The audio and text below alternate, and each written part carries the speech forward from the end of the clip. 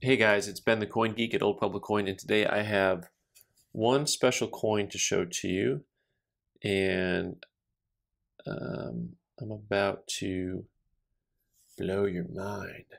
All right, well, maybe not, but this coin, which looks a little bit like a nickel, a shield nickel, is actually a pattern. Uh, this coin is not struck in nickel this coin is actually struck in copper and it is in person really stunning. Really stunning. And so we're going to talk a little bit about patterns in this video and we'll get back to the coin in just a second. This was my favorite book when I first started at the coin shop. Um, United States Pattern Experimental and Trial Pieces um, by uh, J. Hewitt Judd. So the reference Judd that you're going to see on the coin here, this J, that is all patterns are referenced by the Judd book. Now this is an older edition, the sixth edition. Uh, I looked on eBay and they were all over the place. You could buy them.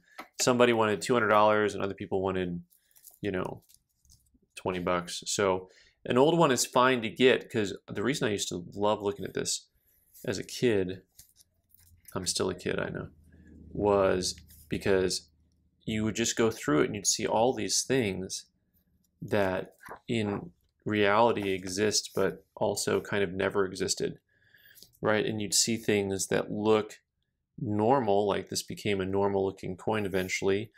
Uh, it tells you who the designer was um, and what the design was. But oftentimes they'll be struck in an off metal or they'd be a different size. Um, you have some that were made of, of materials that just don't exist, things called goloid, and then they tell you what the different metals were that were the compound that it was made out of. You get these coins that have one design that you're familiar with and something else that you're not. And it's just a fun, fun book just to look through and kind of dream about for those of you who just want to have, see the Stellas are in here. That's the $4 gold piece. They're considered patterns. Um, for those of you who uh, want to have um, want to have just one of these, there's actually you actually have the ability to find patterns that are in lower grade, maybe at proof 60, you know, uh, the more common types for a couple thousand bucks, um, which is a lot of money. I get that, but you know when you think about what you spend on stuff nowadays, um, it's really, I think, uh, something that most of your collecting friends wouldn't have that you can afford. So the book is set up uh, chronologically, so you'll see it by year. Um, so you have to go through by year. And so this coin here is 1867. Uh, it actually does not have it pictured in the book. Uh, the 573 is the number here. And they have a 573A, which has a mule. It has a different reverse to it, and that one's really very scarce. Now, what's interesting when you go and look at these coins to try to figure out a value, you know, you can look at, well, price guys I don't think help because they trade so infrequently. So you can go to different auctions and auction results. Both NGC and PCGS now on their website, when you look at pop reports, start to show, you know, auction results for a coin. And then what's cool is you can start to look and see, uh, from what I can tell from NGC and PCGS's uh, pop reports, there's about 20, oh, 25, 26, 27 of these I'm guessing there's more than that. So call it, you know, ANACS has some. So maybe there's 30 to 40 pieces total. Um, but then you start talking about finest known because, you know, there is, I know uh, PCGS has one graded a 65 Cameo Red, which is probably the nicest known. This one's called Brown, but as we've talked about before, you know, a coin uh, value is not always determined solely on uh, the grade, you know, the eye appeal. So if you had the red coin and you had this coin next to each other, which one would you choose?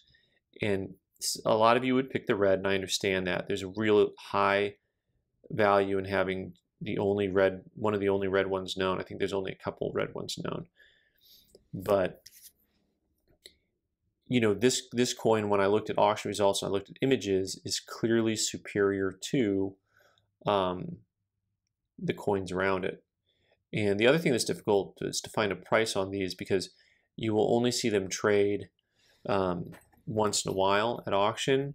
And it looks like a lot of them haven't traded since 2010. Uh, so you, you might not see the coin trade for a decade. I'm taking the 20 power loupe now to get a good close up at the strike quality on this coin, just how strong those lines are there. So the question is then, how do you value the coin? And the reality is it doesn't have a set value. You can send it to auction and be disappointed. You could send it to auction and be really pleased. Um, this to me is a coin that I'm probably going to go ahead and try to cross over. And here's why. I'm going to send it to PCGS for crossover in the holder. I think it'll come back a 5. I'm hoping that they will give it a cameo.